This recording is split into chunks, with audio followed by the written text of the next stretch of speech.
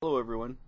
Let's use a couple quick examples of waves from Physics 20. Basically we're going to be using the two formulas velocity equals frequency times wavelength and the other formula t, the period of time, equals 1 over f. We're going to look at a few more formulas when we study waves and light a little later on in the course but these two we're just going to do a quick review of before we move into Unit 1.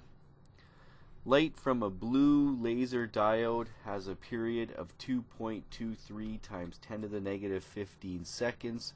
Determine the laser light. First thing I want you to really be very careful. You have a constant on your data sheet. I'm just going to point it out to you. Uh, top left, about a third from the bottom. You know that as soon as you read light, and they talk about speed of light, the speed of light will be 3.00 times 10 to the 8 meters per second. They do not have to give that to you in your question. So as soon as they talk about light, the speed of light we will use 3.00 times 10 to the 8 meters per second unless told otherwise. You're passing through some other type of medium. But since we're passing through air, speed of light through air, 3 times 10 to the 8.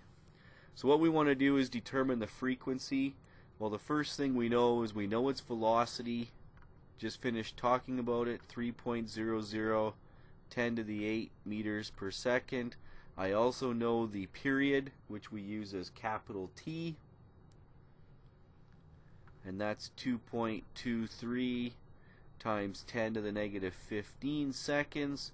If we want frequency, what we're going to use is this formula. T equals 1 over F. And we just have to manipulate that for frequency, and this is a quick one to manipulate. F equals 1 over T. Put your numbers in. 1 divided by 2.23 times 10 to the negative 15 should give us a fairly high frequency and I'm just going to punch this quickly on my calculator to make sure the answer is right. 1 divided by 2.23 to the exponent negative 15 should give us 4.48 times 10 to the 14 hertz. And when we study electromagnetic radiation a little later on in this course, you'll learn the frequencies of different colors of light, frequencies of other forms of electromagnetic radiation. You'll learn frequencies and wavelengths, and you'll be able to classify different colors. Blue has this frequency. That's what makes that color blue, just for information sakes. When you want wavelength, then we're going to use the other formula we talked about. Velocity equals frequency times wavelength. So wavelength will be equal to velocity divided by frequency. If we put our numbers in, 3.00 times 10 to the 8 meters per second divided by the frequency we just worked out.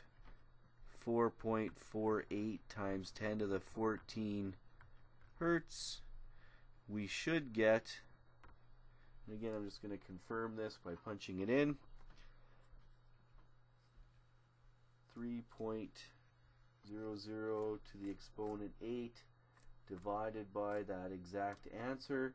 6.69 times 10 to the, I'm just going to write this out here, 6.69 times 10 to the negative 7 meters. And if you look on your data sheet, I use the prefix nano, which is 10 to the negative 9. So this could work out as using a different prefix, so you don't have to use scientific notation, 669 nanometers be careful. There are many prefixes on our data sheet. Tells you what its exponential value is for each one.